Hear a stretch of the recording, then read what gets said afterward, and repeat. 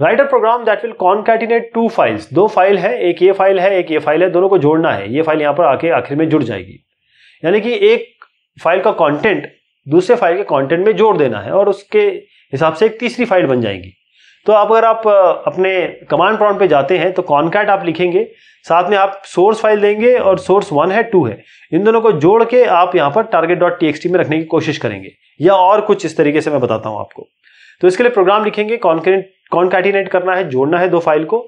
S T conio करेंगे, क्योंकि यहाँ पर कमांड प्रॉम्प्ट पे चल रहा है तो A R G C argument count और A R G V argument variable count मतलब नंबर ऑफ़ ये कितने जैसे यहाँ पर है, एक, दो, तीन। इसी तरीके से आपका वेरिएबल हो गया, एक ये एक ये एक ये, तीन ये वेरिएबल आएँगे।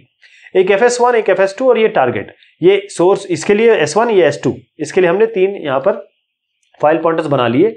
एक हमारे यहाँ पर हम कैरेक्टर वेरिएबल ले लेते हैं।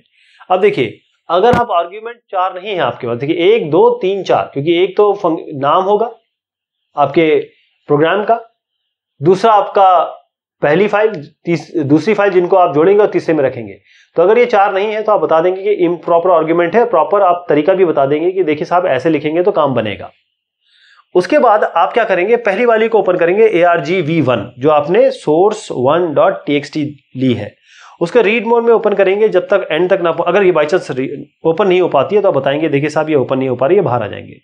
इसके बाद आर्ग्यूमेंट वी टू पे जाएँगे, यानी कि सोर्स टू टी पे जाएँगे। इसको खोलने की कोशिश करेंगे, नहीं खुल पाए तो बताएँगे कि यहाँ पर ये खुल नहीं पा रही एरर है, बाहर आ जाएँगे। इसके बाद तीसरी वाली को ओपन करेंगे, जैसी राइट राइट मोड में। देखिए, इसको रीड मोड में, इसको रीड मोड में ओपन किया है। तीसरी वाली को हमने राइट मोड में ओपन किया है। अगर ये नहीं हो पाती है तो बता देंगे एरर है, बाहर आ जाएँगे। अब हमारा असली काम शुरू हो रहा है।